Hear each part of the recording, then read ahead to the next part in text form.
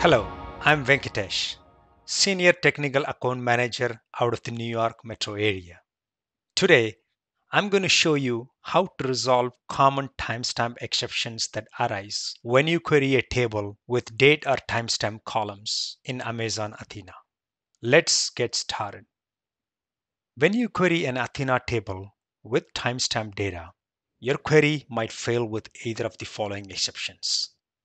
First, you can get a syntax error when you use a logical operator such as greater than or less than between timestamp and string values in your query. Second, you can get an invalid cast argument when you cast a column with data type that's not supported by Athena. I'm going to show you how to resolve these two common issues. Log into the AWS Management Console and navigate to the Athena console. Select the query editor. We'll use the default values for the database and data source but you can also choose your own source and database. Let me create a test table in Athena with timestamp columns. Note that we are parsing the string as date and storing it in the table. The table test dataset 1 is created. You can find the table under the tables and views. You can right click on the dots on the side of the table to preview the table to check that you have created three rows of test data. Now that you have the data, let's run a query to get some data that's filtered based on the timestamp column. Let us run this select query. Now you get a syntax error.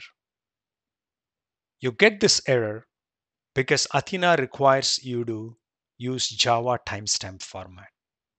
You can use Presto's date and timestamp function or cast function to convert string to timestamp in the query filter condition. Please note, Presto or PrestoDB is an open source distributed SQL query engine on which Athena is based. Now, let's run the query by casting the value as a timestamp in a where clause. Now I get two rows that are less than the date time which was specified in the query.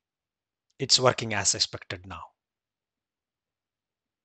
Let's take the second example. Let us create a test table where timestamp column is stored as a string, not parsed and stored in Java timestamp format. You can check the column data types by viewing the test data to table information on the right hand sidebar you see that the timestamp value is stored as a varchar data type. Let us query the data by casting test timestamp to column as a date timestamp value. Now you'll see the error invalid cast argument. This is because of casting on a column with data type that's not supported by Athena. Now let us use Presto's date and time functions to read the column as timestamp in your query because the column is stored as a string. Run the query with Presto's date parse function, which you can parse a string that contains a date in specific format. This returns the timestamp in Java format.